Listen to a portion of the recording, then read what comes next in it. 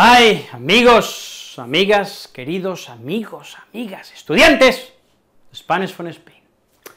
¿De qué vamos a hablar hoy? Vamos a hablar de un tema muy interesante que siempre hay muchas personas que cuando hacen búsquedas en YouTube, pues buscan sobre este tema, no es otro que el de economía. Bueno, parece que, eh, no sé, cada vez que pronuncio la palabra economía, aparece esta fanfarria, ¿no? Bueno, lo mejor va a ser entonces que, empecemos ya, ¿eh? Vamos a empezar. Y recuerda, si estás estresado con tu vida, practica español.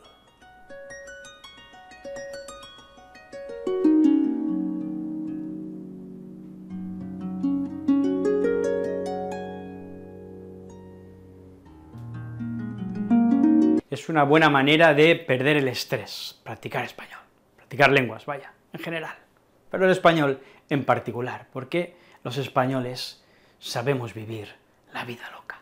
Si fuera más hombre ya tendría su propio negocio. ¿Y qué crees que debería hacer? A ver, dime, tú que eres tan listo, ¿crees que debería dar clases a grupos de español? Muchos hacen así su negocio. Sí. ¿Creéis que costará mucho dinero montar un negocio así? Y no hay negocio que sea más caro. Ah, entonces lo mejor es eh, invertir en otro tipo de negocio. Y que a mí no hay tipo guapo que me estropee un negocio. ¡Ey! Esa es la mentalidad. ¿Tenéis amigos al que le haya salido mal la jugada? Solo los que tienen negocios turbios. Claro, y entonces los han metido en la cárcel, ¿no? Han invertido mucho en negocios legales, especialmente en el de la construcción, y les ha ido bien. Bueno, dejémonos de rollos y vamos a hablar de lo que toca hoy, de negocios.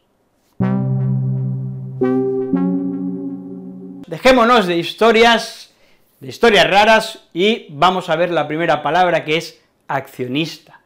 Un accionista es la persona que posee acciones de una empresa, y esas acciones no es otra cosa que eh, una, la división del valor de, eh, de, lo que vale una empresa, ¿no? Con una acción, pues tienes, tienes una parte de esa empresa, y la persona que tiene esas acciones es el accionista. Un accionista lo que quiere es amortizar sus acciones, es decir, lo que quiere es recuperar lo que ha invertido el dinero que ha invertido en esas acciones. Como mínimo recuperarlo, pero también hacer más dinero. Bueno, pues eso se trata de amortizar, recuperar el dinero invertido. ¿Tú te crees que es tomate yo me creo que es popó? ¿Tú te crees que es chimini yo me creo timitón?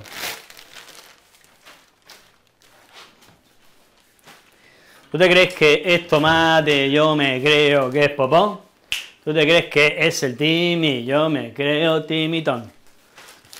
Aquí tengo una bolsa, porque la siguiente palabra de la que vamos a hablar es bolsa. Esto es una bolsa, una bolsa de plástico, pero la bolsa también es el lugar donde se compran y se venden acciones, donde tienen lugar intercambios financieros. La bolsa de Wall Street, me refiero, claro. Pero bueno, hay más bolsas en otros lugares del mundo. En Madrid también hay bolsa.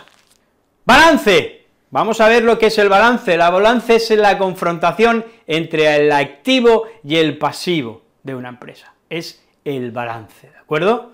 Bueno, pues es, siempre es mejor que todo esté bien balanceado. El activo de la empresa y el pasivo de la empresa que estén equilibrados.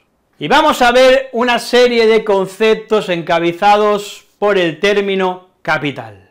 Primero veamos eh, el de capital disponible. El capital disponible no es otra cosa que el dinero del que disponemos, ¿vale? Pues a eso lo llamamos capital disponible, porque el capital, amigos, amigas, al fin y al cabo, en resumidas cuentas, es el dinero.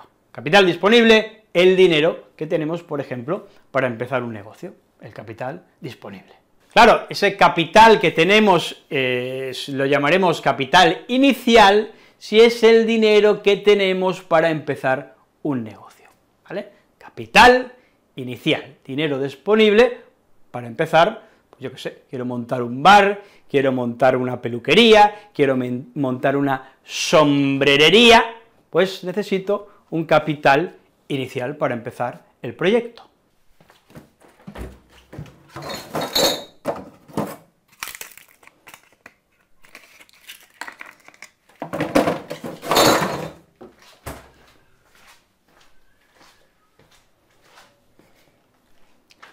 Claro. Clariri. Clarirerere. Óyeme, tú que eres joven, tú eres pupu de mafuán. Claro, ¿qué le pasaría al capital si estuviera así? Mirad, está, ¿qué es esto? Un cubito de hielo. Entonces hablaríamos de capital congelado. ¿Eh? ¿Por qué congelan el capital? ¿Por qué paralizan? No podemos disponer de un capital. Porque se puede, intuyen, sobre todo las fuerzas del orden y de la ley, intuyen que ese dinero que tienes, que posees, no es un dinero limpio. Hay indicios, quizás de delito, quizás de algún tipo de crimen, y lo que hacen es congelar tu capital. ¿Y qué son bienes de consumo? ¿Qué es el bien de consumo? Los bienes de consumo que siempre utilizamos en plural. Pues es la mercancía final en la elaboración ¿eh? de un producto. Ese producto final que elaboramos, que hay eh, mediante una producción se termina de hacer, es un bien de consumo, bienes de consumo. Son las cosas, como estas gafas, como este sombrero, son bienes de consumo. Al intercambio de esos bienes entre países, entre países eh, de distintas partes del mundo, de distintos continentes, le llamamos mercado internacional, o comercio, mejor dicho, comercio internacional. Este es el concepto que quiero que aprendáis, ¿vale? Comercio internacional, intercambio de bienes de consumo entre países. En ocasiones, en un país, por las razones que sean, y esto no es algo positivo, tenemos aquí, por ejemplo, una moneda de, de, 2 euros, ¿vale? Me voy a acercar así a la cámara para que veáis la monedita, ¿se ve? ¿Se ve? ¿Quiere verse? Ahí, ahí, ahí. ¿Lo veis? Una moneda de 2 euros. ¿Qué pasa si el euro, eh, cómo llamamos al hecho de que el, valor de esta moneda sea menor? Cuando intercambiamos entre países, pues resulta que ahora, en lugar de darme un dólar con 20 céntimos, me dan un dólar con 10 céntimos por un euro, ¿no? Pues a esto lo llamamos, en términos eh, comerciales, devaluación. De la moneda, la devaluación del dinero. Es decir, pasa a tener un valor inferior al que antes tenía pues, la moneda de un país. En el caso de, mi país es el euro. Me voy a quitar ahora el sombrero, porque hace un poco de calor, me voy a repeinar, ¿vale? Me voy a quitar las gafas, mejor. Me voy a quitar las gafas, pero me voy a dejar el sombrero, ¿vale? Bien elegante, porque ahora vamos a hablar de especulación. ¿Qué es la especulación? Bien, pues especular es comprar, eh, comprar eh, bienes, eh, comprar cosas, para luego intentar venderlas y sacar un dinero con ellos, ¿no? Eso es lo que es especular. Yo compro algo a un precio y espero a que el valor de lo que yo he comprado suba para después venderlo. Lo que estoy haciendo es especular. Existencias. Existencias. ¿Qué son las existencias? Pues la cantidad que hay de un producto en un comercio, en un lugar. Yo voy a una tienda de ropa y digo, bueno, quiero comprarme unos pantalones vaqueros, lo siento, pero no tenemos más existencias de pantalones vaqueros. Vaya, en otras palabras, que no nos quedan. Bueno, pues en términos más comerciales, más específicos, las existencias son la cantidad, es la cantidad de un producto que hay. ¿Hay existencias o no hay existencias? ¿eh? De una forma así un poco abstracta. Dejadme que os enseñe también lo que quiere decir fabricante. ¿Qué es? ¿Quién es el fabricante? El fabricante es la persona que hace los productos, es el fabricante. Hablamos también en abstracto de la persona, por ejemplo, que hace estos sombreros tan bonitos, pues sería el fabricante. Vale, veíamos lo que era la devaluación, que es la cuando las monedas bajan de precio, pero afortunadamente las monedas bajan y suben de precio. Eh, hoy, vale, tiene un valor una moneda, de la moneda de un país, y dentro de tres meses esa moneda cambia, y la semana mm, anterior esa moneda, esa moneda tenía otro precio, y lo que hablamos en este caso, el fenómeno que, explica este proceso es el de fluctuación. Las cosas fluctúan cuando suben y bajan. ¿Vosotros sabéis lo que es una fuga? Cuando alguien está en una cárcel, se fuga, se va, ¿eh? se fuga de manera eh, bueno, es un, delito, es un crimen, no te puedes fugar en la cárcel porque tienes una condena y tienes que, presuntamente, cumplir esa condena, pero te puedes fugar. Al igual, también hay un término relacionado con el comercio que es el de fuga de capitales. Fuga de capitales es cuando se va de manera a veces abrupta, súbita, mucho dinero de un país. Eso es fuga de capitales. En España se hablaba de fuga de cerebros, cuando empezó la crisis, cuando tuvo lugar la crisis hace ya 10 años aproximadamente, más o menos, ¿no? Se hablaba de fuga de cerebros, porque muchas personas que eran muy inteligentes y brillantes no tenían, no podían trabajar en el país, por lo tanto se iba. Bueno, pues la fuga de capitales es cuando el dinero ¿eh? se va. Me voy, chavales, me voy, me voy a otro país. ¿eh? Se fuga, capital se fuga, se va. El dinero que por otro lado se manda por correo es un giro. Esto ya no se hace tanto, antes se hacía más, pero un giro, un giro es eh, poner dinero en un sobrecito y enviárselo, yo qué sé, al pariente que tienes en, un país, ¿no?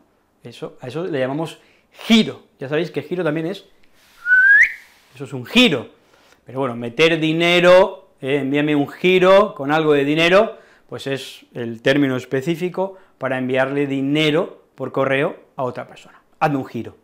Ahora ya también se podría decir de cuando se envían por estas aplicaciones, eh, que hay muchas, donde tenemos dinero online y se envía. Pues hazme un giro de 200 euros para pagarme, bueno, pues lo que harías es enviarme dinero, en este caso no por correo, sino por una aplicación. Pero bueno, estaríamos hablando igualmente de un giro. ¡Chépale! ¡Ay, chavales! ¡Ay, chavales! ¡Chavalico! ¿Qué es esto? ¿Esto qué es? Un montón de monedas. ¿Cómo llamamos a este montón de monedas? ¿Eh? Montón de monedas. Qué bonito, ¿eh? Qué sonido, ¿eh? Más... nos pone contentillos. Bueno, pues a este eh, montón de monedas le llamamos dinero suelto. Dinero suelto. Especialmente es un término que utilizamos, por ejemplo, cuando tenemos que pagar en un lugar y pagamos pequeñas cantidades, vamos a comprar el pan, vamos a comprar la carne, ¿no? Y oye, ¿Cuánto es? Eh, 20,36 céntimos, y le doy un billete de 40. Oh, pero, ¿tienes dinero suelto? me diría el, comerciante, la dependiente, ¿no?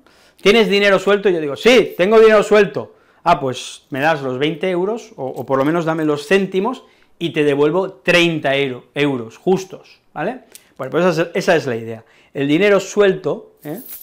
el dinero suelto, está suelto, está aquí, son pequeñas cantidades de dinero, sobre todo para hacer pequeñas transacciones en el día a día.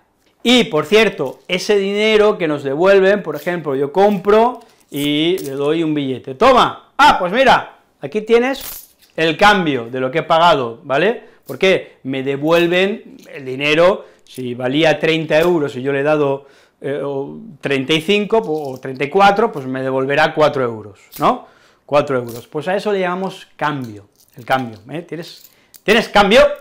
Otro término que quiero explicaros y que está eh, relacionado con todo esto que estamos viendo, de dinero efectivo, de cambio, es el efectivo en caja.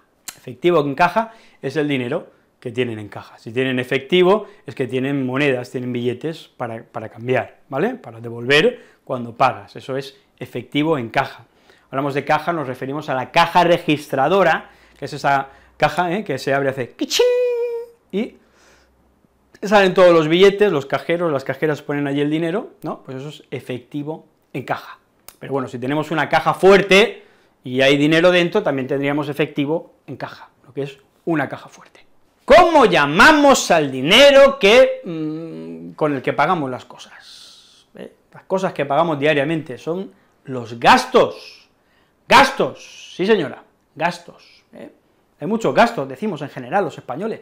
Es que hay muchos gastos, todo vale mucho. Hay que pagarle el comedor a los niños, hay que pagar los libros del cole, hay que pagar eh, luego el recibo de la luz, el recibo de internet, el recibo del coche que me he comprado, todo eso, ¿no? Pues esos son los gastos, es decir, cosas, eh, gastos, cosas que, eh, por las que nosotros damos dinero de manera rutinaria, ¿no? Son los gastos del día a día, del mes a mes, los gastos de la vida. Bueno, pues empezamos con una serie ahora también de términos donde la palabra gasto, voy a guardarme el dinero, ¿eh? el dinero, el cambio, ¿eh? el dinero metálico que tengo, lo meto todo el bolsillo, para hacer así, para frotarme las manos. Bueno, vamos a ver una serie de conceptos ahora con la palabra gastos, por ejemplo, gastos generales, son los gastos que en una empresa, pues, tenemos que hacer de manera habitual, son gastos generales, para que la empresa funcione, pues lo que tienes que pagarle a las diferentes personas que trabajan para tu empresa, el dinero de la luz, el alquiler, esas cosas son gastos generales. Luego tenemos gastos diversos, gastos diversos, que serían como otros gastos que aparecen de repente, ¿no?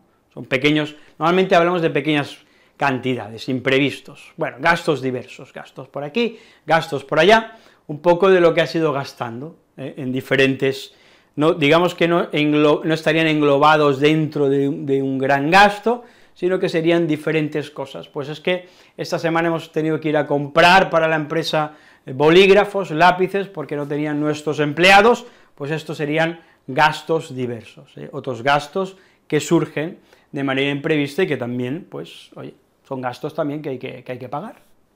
Si estos gastos no estaban previstos, si estos gastos de repente es como, bueno, se suponía que este mes no teníamos que pagar nada, mm, eh, no teníamos que pagar ese, no teníamos que eh, dedicar, no teníamos que soplefremar.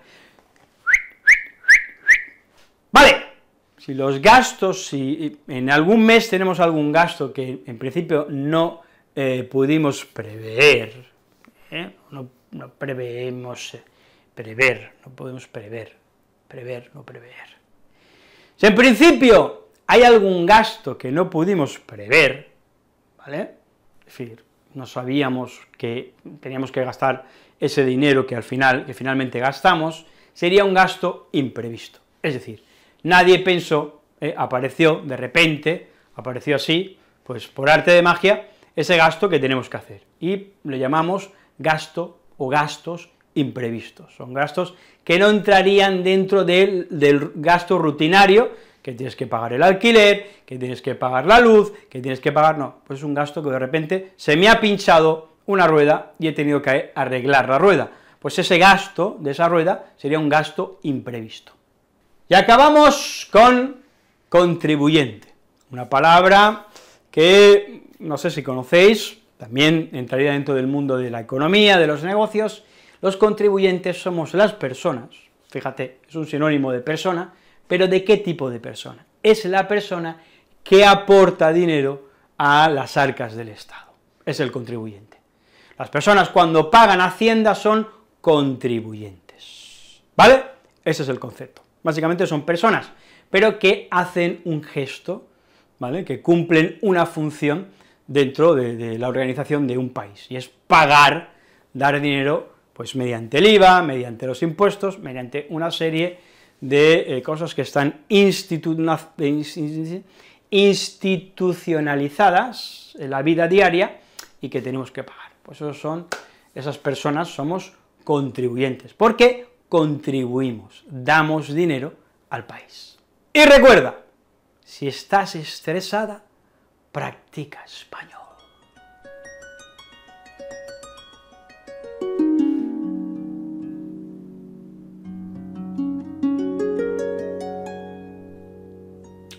Esta es una buena manera, sí señor, sí señora, de desestresarte. Y hasta aquí hemos llegado con estas palabras para hablar sobre negocios, sobre economía. Son útiles si nuestro ámbito ¿vale? Es el de la mm, economía, si utilizamos el español en nuestro trabajo, o si queremos hacer el DELE, o si queremos ser eh, precisos, si queremos ser exactos, hablar con propiedad la lengua, claro, pues entonces tenemos que tener un vocabulario extenso, ¿eh? debemos denominar a cada cosa por su nombre. ¿Qué lo tiene? Eso es todo, ¿vale? Ahora lo que tenéis que hacer es, bueno, pues esto es un quid pro quo, darle al like, compartir y suscribiros a Spanish for Spain, porque es probablemente, siempre lo digo, el mejor canal para aprender español de YouTube. Ahí está, ahí es nada. Que tengáis una buena semana, la vida puede ser maravillosa, y es un poquito más maravillosa, eso sí, ¿por qué no decirlo?, cuando hay un poquito más de guita, de pasta, de dinero. Así que, chicos, salud, amor, os deseo, y también un poquito de dinero no viene mal, claro que sí. ¡Nos vemos! Cuidaos, os quiero. ¡Chao! ¡Fucker!